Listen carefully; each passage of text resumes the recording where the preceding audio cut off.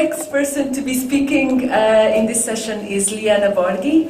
Uh, Liana Borghi has researched and taught Anglo-American literature at University of Firenze until 2010. Uh, she's a founding member of La Libreria delle Donne in Florence. Um, she, she's been active in the international lesbian movement since the late 70s and has worked ever since on GLTQ studies, attempting cross-cultural trans-feminist, trans-queer feminist entanglements with literature, history, science, and arts. And she'll be speaking on uh, if love is a time machine, affective temporalities in intimate relations. Thank you. Okay. Um, I will since we've been talking poetry, I shall start with two lines from poem 19 of the 21 Love Poems by Adrienne Rich, where she says, uh, Two women together is a work nothing in civilization has made sinful. And after that, I shall ask you to think with me just for a second and to imagine a couple of birds, a couple of trees, a couple of things, a couple of days, a couple of women. Any of those can be different, behave differently to and from one another, and at any moment as we look, they may pair off. Well, I share the conviction that it is necessary to deconstruct the normative disposition of this standard couple as a staple figuration of heteropatriarchy and decolonize its concept, practice, and performance in order to change our heteronormative social structure uh, male, female, gendered, heterosexual, monogamous, partnered, you know, all the stable identities we're familiar with. But there can be a lot that is not normative in a couple, and lesbian couples can certainly produce, I quote, diverse, intimate relations. We've been talking about that in our meeting yesterday. Um, the object called lesbian couple describes the coming together of two persons that identify or are identified as lesbians. It can be seen as an attachment, an affiliation, an effective political format, a symbolic asset, a construct, an environment, a space of coexistence, the site of small achievements, a temporary housing, a temporal sedimentation, or an unforeclosed experience providing reassurance, visibility, upward mobility, job security, political social equality, lively, uh, durable intimacy, and much more. Coupling is a performance. And what does a couple do? It performs itself. It transmits affective contagion, suggestion, and imitation. It may represent, under constant revision, a mutual affect with expectations and fantasies of ordinary good life. In the generalized format, Couples can be of all shapes and color, queer and mixed.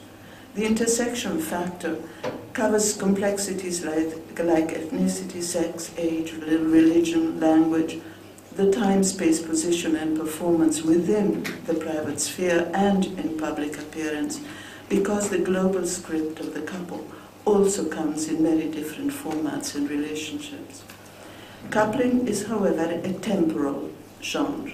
It exists in time, it has a time of being, an affective time being. If it comes about because two women are in love, it is susceptible of waning when we fall out of love.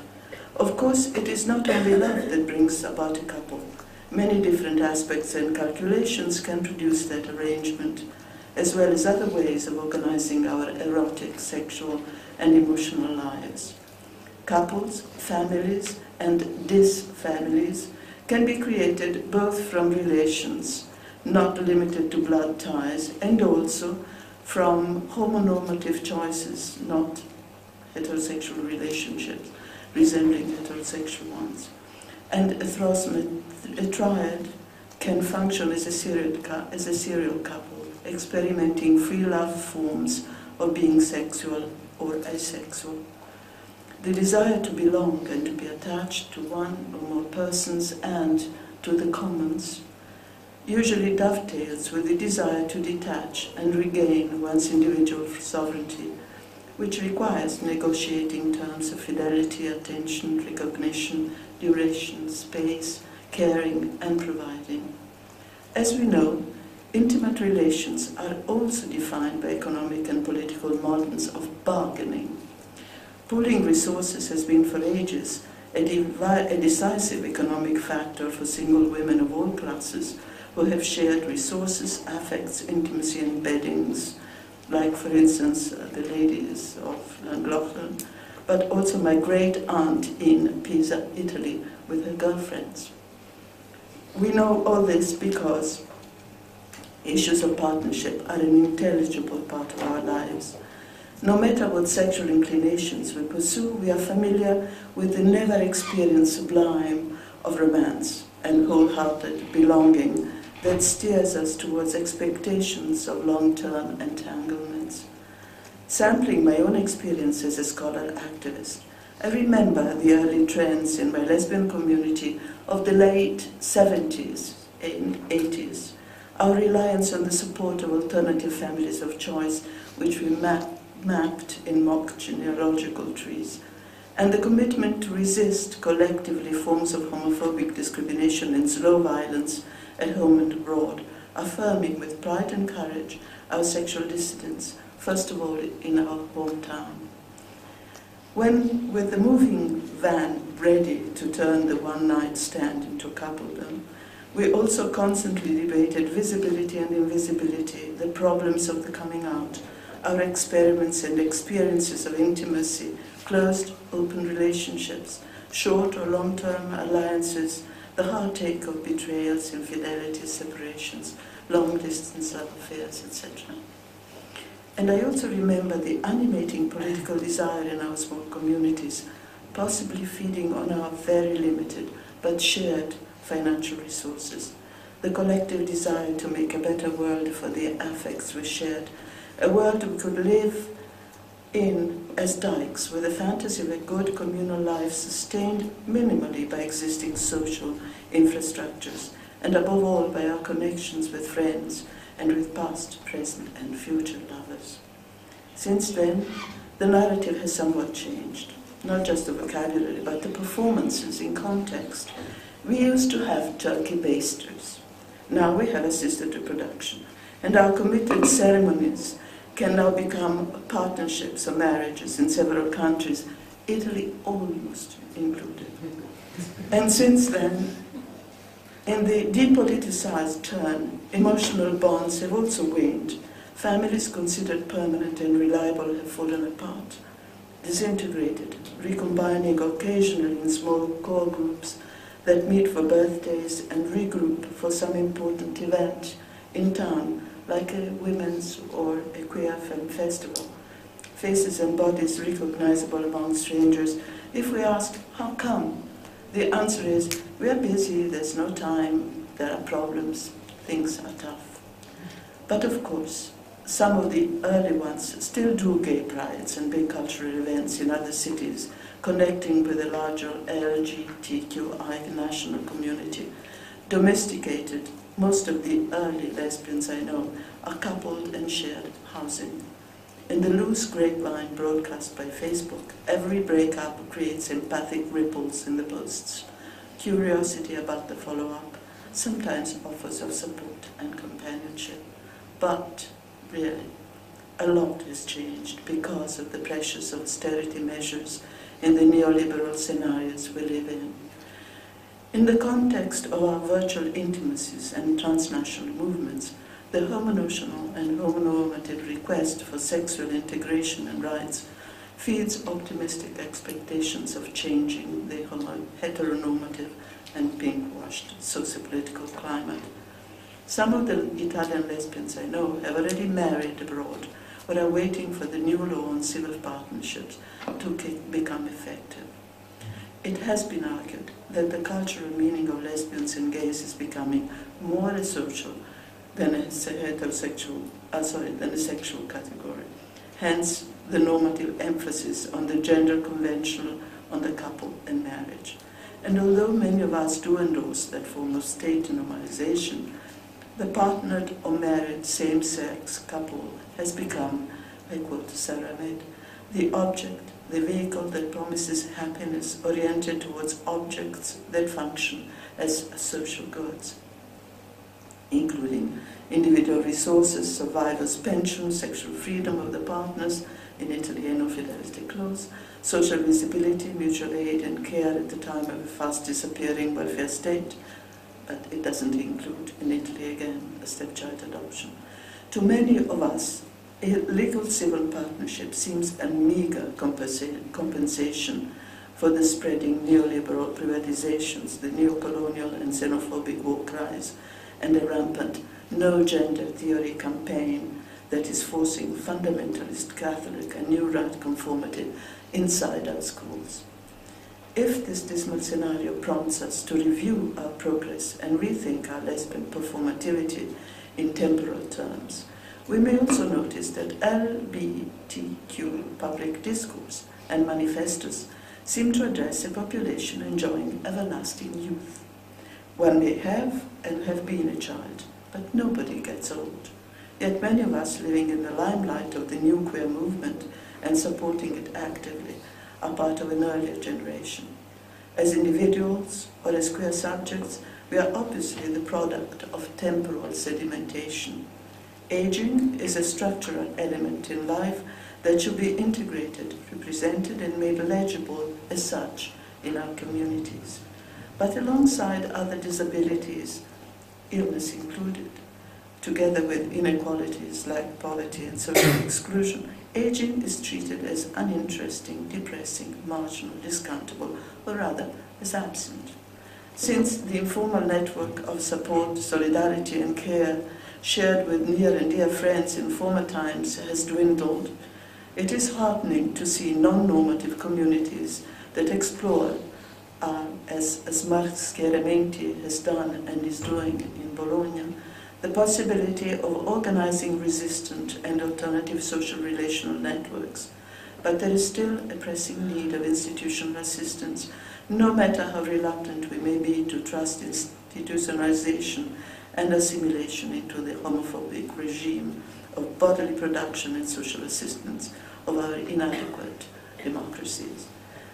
And in order to resist this, we need couples, ex lovers, close friends, and more friends. Predictably, even though some of us have moved beyond structuralist accounts of kinship towards embodied affective life and multiple temporalities, understanding sexuality and sexual practices as socially constructed and relative to a given time space.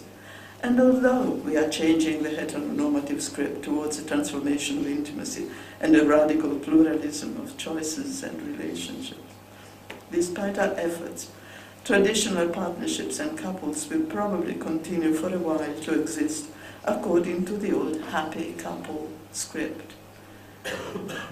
Lauren Berlant points out the cruelty of optimistic expectations, whose realization will in fact bind people to objects that will constrain their freedom.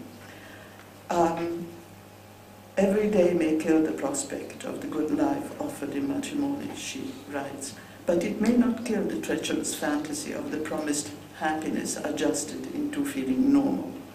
Her complex narrative of the fallout of the fantasy of happiness evokes many narratives that reflect on affect and sorry and affect the transformation of intimacy. As a literary scholar, I am fascinated by the way narratives affect cultural representations and behavior.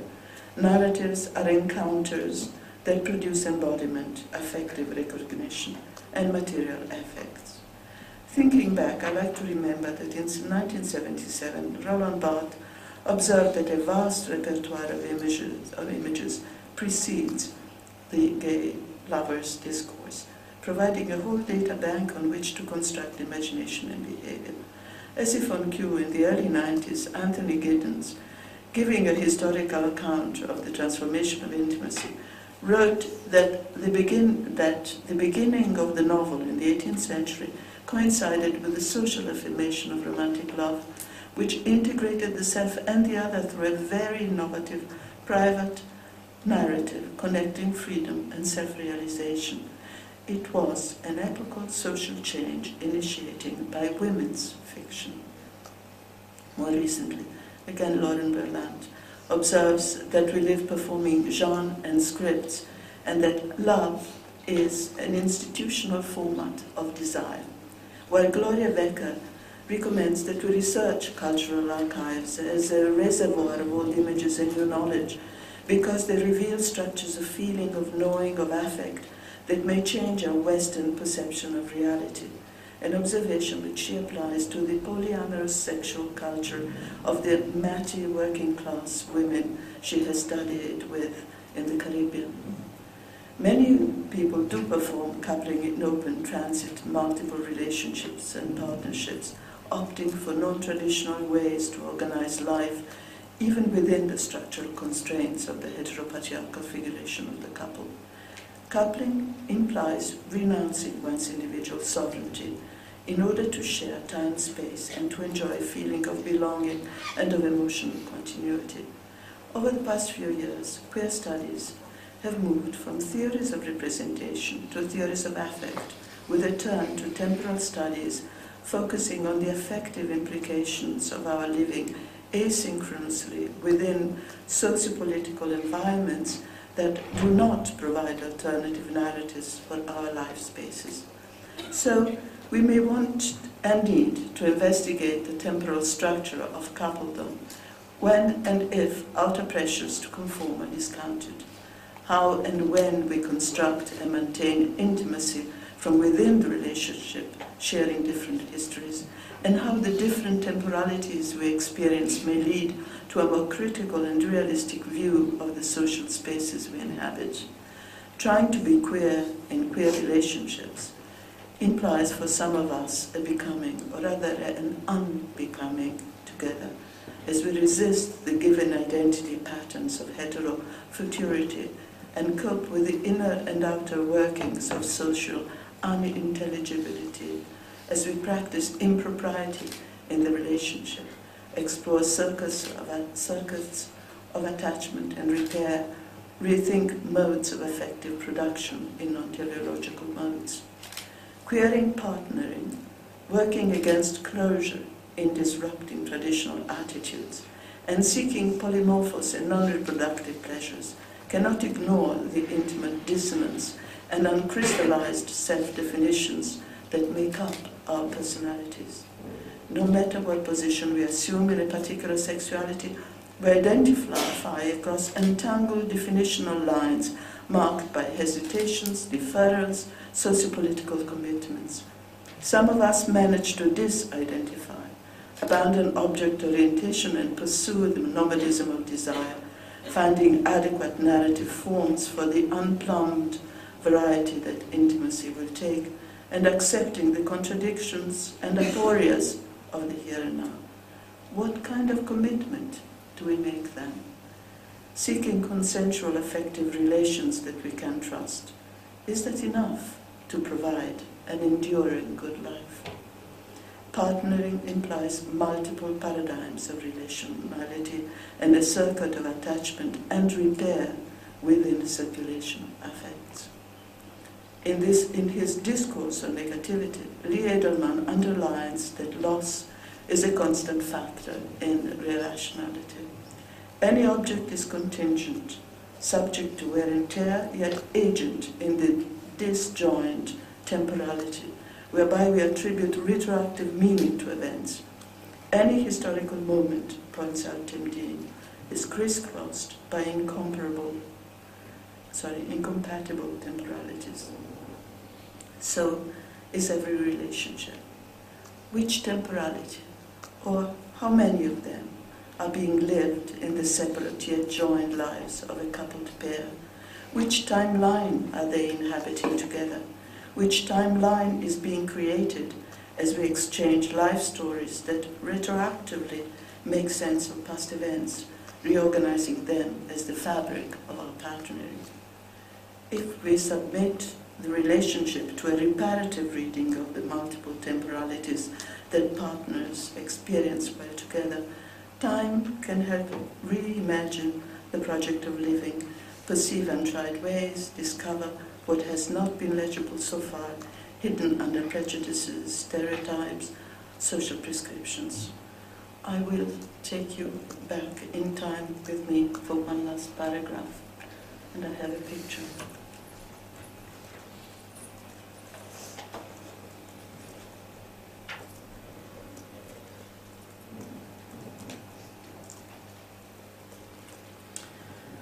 On the front of an ancient temple I recently saw in Asia, a carved stone face grinned at me with sharp teeth. Somebody said, That is the image of time. It eats you up as it eats itself up.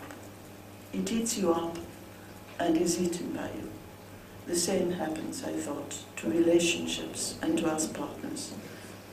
Whether we guard our affects remaining single and unattached, or fall prey to twosomes of multiple arrangements, the object we may call love is a time machine.